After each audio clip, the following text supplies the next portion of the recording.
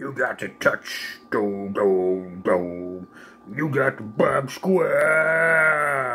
Yeah. Hey, what's going on, you crazy cats? It's me, Bob. We're doing a fun boxing uh, at an abnormal time, but whatever it is, what it is. What are we talking about? Are we talking about that plastic mountain? No, it's just there on a kitchen table. Are we talking about the retro fang over to your right? No, it's on a kitchen table.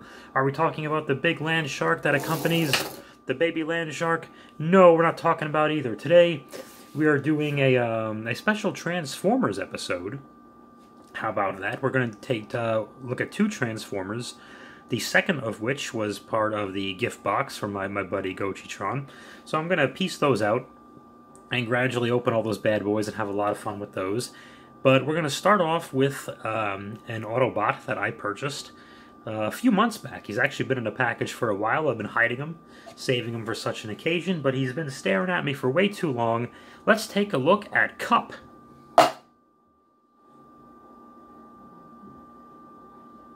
Okay.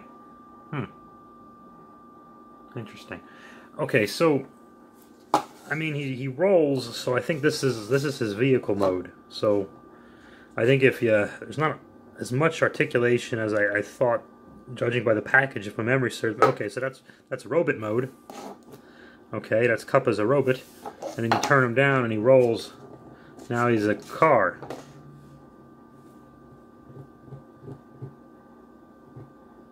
Okay, well, Kup's pretty cool. Let's move on. Oh, shit. Kup. Yeah, my goodness. Ugh. Jokes. Gotta love the jokes, Bob Squad. Hey, there he is. He is looking old and grizzled, isn't he? That's what I like. I like an old, grizzled, cranky character, and, and he is he is it. You gotta love him. He's like I always thought Ironhide was the guy he replaced in many ways. I always felt Ironhide was grizzly and old, uh, or he kind of had that role. Not quite as old as Kup is supposed to be, but you can see in certain episodes. We're just going to talk about Ironhide, I guess. I don't know what the hell I'm talking about. Uh, in certain episodes of the, the animated series, the TV show, what the hell, Bob? Um, Ironhide would yell at the aerial bots, you disrespectful punks, and all that kind of stuff. Everyone was a disrespectful punk. Kup's a little more patient and wise, but he has his crankiness. So let's take a look at the back. I never understood exactly what vehicle he's supposed to be. Kind of a futuristic, like, pickup truck, I think, the way it looks. Well, there is Kup. Okay, he looks, uh, there's the box. I, I'm, I'm assuming he has a special background related to the 86 movie. This is part of the 86 series. Oh, Kup with a K. See, that's where I got confused. Okay. Eight and up. That's how many hours it should take me to transform him. And let's just get him out. Here he is. And he's in front of a, like a squid. Let me open this up for you. It's the movie, it's the squid scene, as you know. The That's, um, I think they did this because of the popular uh, Netflix series that is out right now. Uh, Tiger Game? I don't know what the hell it's called. No, it's not that. It's Squid something or other. It's for people who really like sushi. Okay, well, this is what Kup looks like in that scene, if that scene were two-dimensional and he were not. So let's move him a little closer and take... He looks grizzled. They gave him... This accessory made me laugh. I think it's supposed to be a, what's called a, a communicator. So it's like a walkie-talkie or a, a cell phone, which is hilarious. Because you would think they would all just pretty much have the the uh, ability to communicate with one another and download, upload information, whatever, and save things, and an, an, insanely large memory bank, and they would not need any. They're basically walking cell phones, and they can all GPS each other and send warning signals and this, that, and the other thing. So, okay, we got a little premature. And this is his blaster, because they don't want to say gun, I guess. And he can um, murder people with it. He can, he can murder other life forms, because the Autobots and Decepticons, the Transformers, are alive. They have uh, life sparks or whatever the hell, and I'm gonna spin them around. And a lot of you know a lot of these figures of this is not a complaint by any stretch of the imagination. They tend to have some kind of inadvertent backpack formation just because these things transform. But as far as I'm concerned, this whole line, which is pretty much the same line as the Siege, Kingdom, War, Earthrise, 86 Studio, whatever the hell, they're all they're making pretty much all the same Transformers, and um, the best combination of articulation and cartoon accuracy and transformation is all in this line. So I think it's absolutely wonderful. Right now, we're all giving so much love to Motu Origins as we should. It's amazing.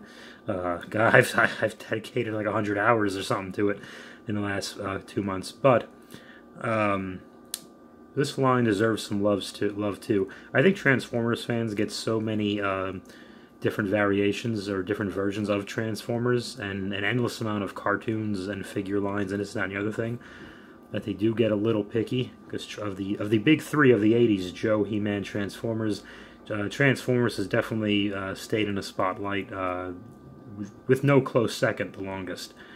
Uh, I like that cool Autobot symbol. I usually don't even think about the, the Autobot or Decepticon symbols but I like that. That stands out without being too intrusive. So um, yep better out of the package better out of the package. I think I always say that, but I think all toys are because they're toys. Oh, jeez, I just imitated my my favorite one of my favorite wacky wrestlers, Danhausen. They're toys. They're evil. Yes. Um, yeah.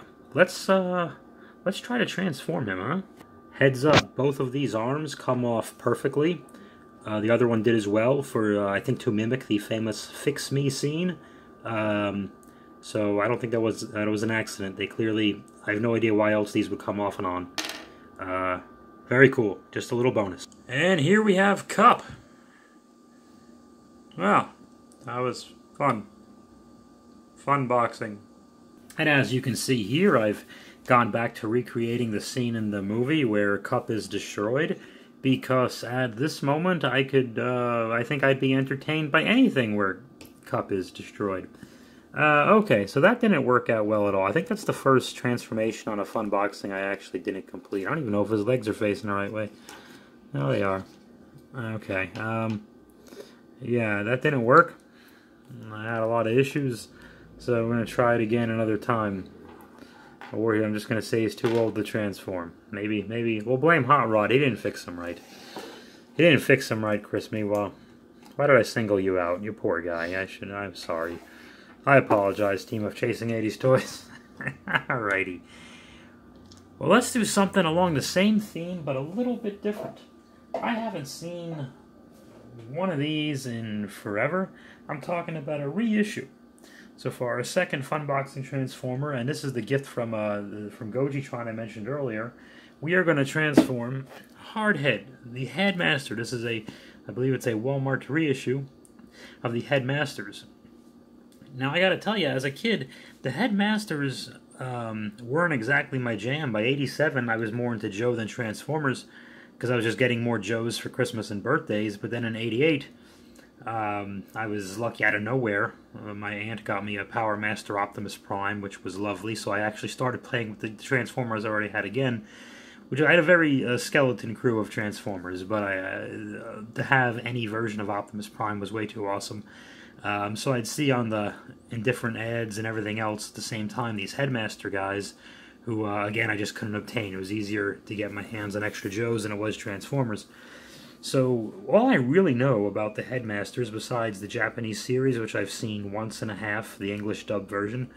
Uh, I've seen Rebirth, which was the end of season one or generation one rather, season three. Yeah, they call Return of Optimus Prime season four and Rebirth season five, but it's all season three. Who the hell are we kidding? Let's get our heads out of our asses now. Okay, now Bob, you didn't need to do that. That was unnecessary. So what I know about Hardhead here is he the leader of the uh, the headmasters? I don't know. That's the name I remember the most. Uh, Duros. Okay, and let's take uh, Duros. I guess was a little guy that became that becomes his head or his brain. And on the back, wow. Oh, this is some very cool. Um, later on, uh, very late G1 characters here. I think we got um, the Alligator Tron, and that's Fortress Maximus. I know that one. And I think that's oh, Mind Wipe is the bat, and Weird Wolf has hypnotizing powers, I think. And yeah, these are all these these headmasters, of course, they're trying to sell you. And target masters were the thing at the, the time, too, where the guy transforms into your gun. Which actually, I don't know why the Transformers would need any of these things, quite honestly.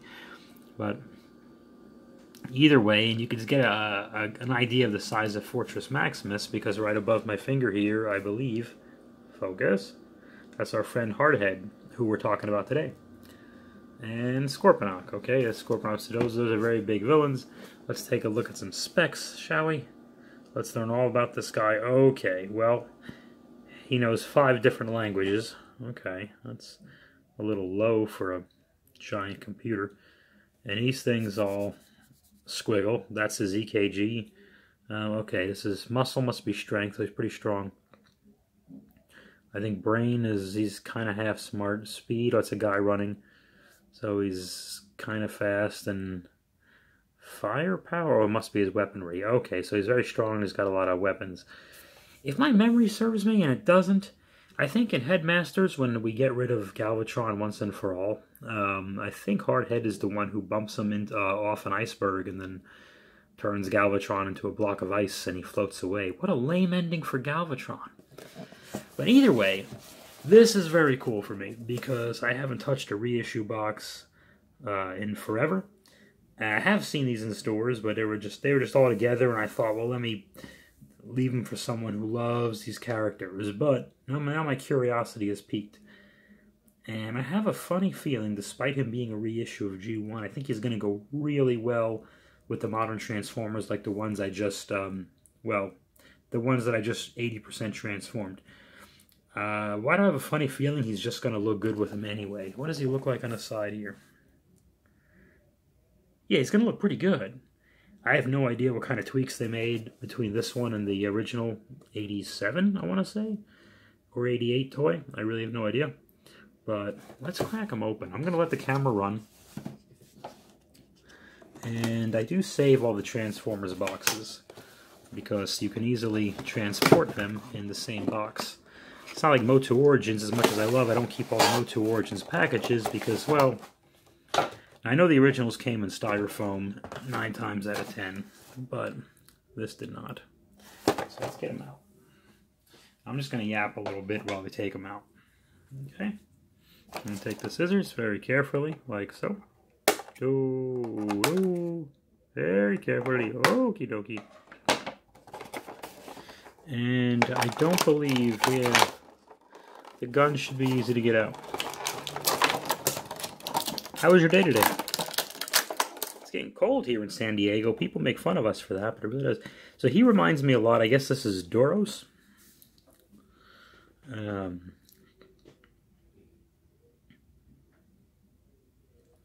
I think Duros uh, Duros sang "Land Down Under" in the uh, early to mid '80s. Is that correct?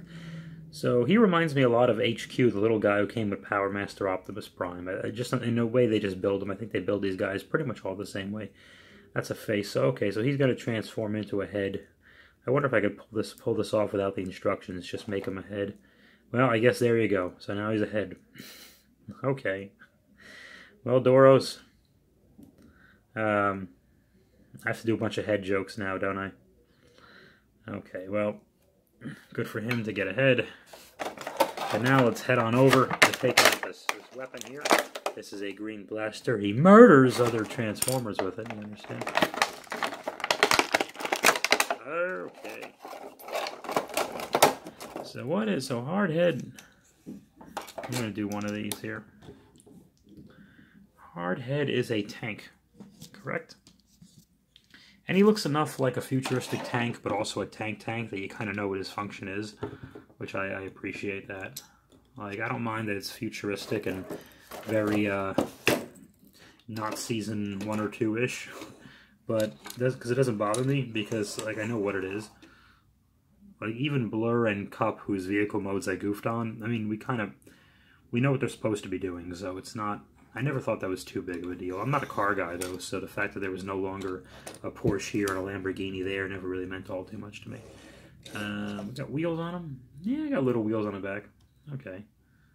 We got two sets of wheels there, no wheels in the front, so he's still going to roll around, but I'm a stop motion guy. What the hell do I care? I love his vehicle mode. Firepower. Oh, and you can articulate. Again, I have no idea if the original one did this. This is a reissue. Let's see. We're going to see what year the reissue is. Okay. So I'm just going to gab for a little bit, right? It's okay. and it was made in. Tell me it was made in Vietnam. They loved Hasbro's been making everything in Nam. I can't find it. Nope. Made in Vietnam. There it is. But what? Yeah. Was this 2020? 20, 2020. Okay. So this is a reissue from last year. Last year was a good year for nobody. Okay.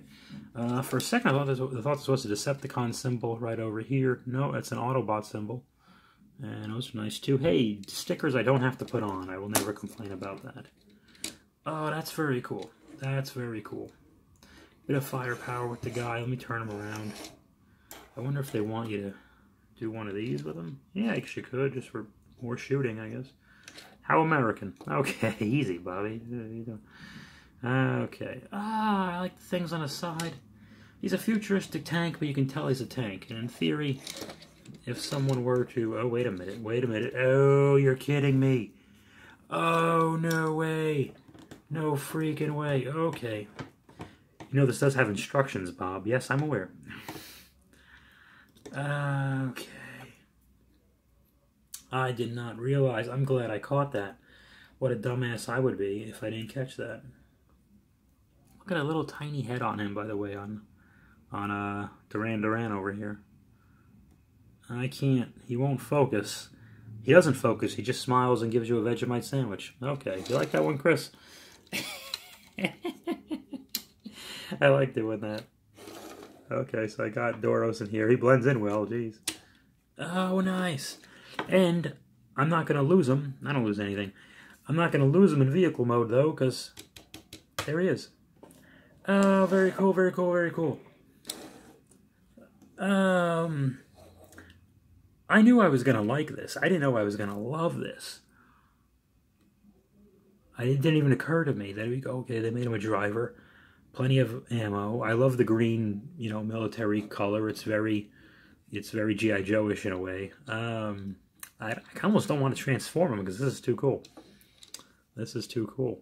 But we're going to transform him because he's a transformer, and I don't want to be 0 and 2 on the transformation for the fun boxing. And congratulations, Goji, you just made me a Headmasters guy.